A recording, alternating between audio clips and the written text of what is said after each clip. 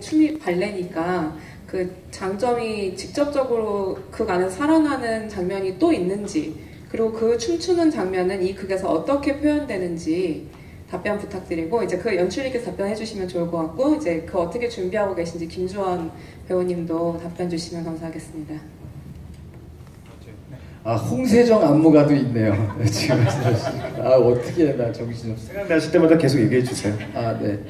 그 이 춤으로 이야기를 풀기 때문에 그 배우의 연기를 물론 대사도 하는데 춤하고 그 연기를 같이 이렇게 에, 표현을 할 거고요. 그리고 어, 영화는 보통 이렇게 밀실 같은 데서 두 명씩 만나고 계속 그 다음에 또 두 명이 만나고 이런 식이라 그러면 어느 순간에는 계속 어, 무브먼트를 계속 많이 주면서 어, 영국적인 어법을 좀 가려고 하고 그게 리듬감을 훨씬 더 많이 배가시킬 거라고 생각을 합니다. 주원 씨 춤추는 장면 굉장히 많아요. 네. 네, 굉장히 많을 거예요. 네, 저 준비하는 거. 네. 어, 제가 춤추는 장면도 있지만 여기 배우님들도 다 춤추시거든요. 그래서 기대하셔도 좋을 것 같고.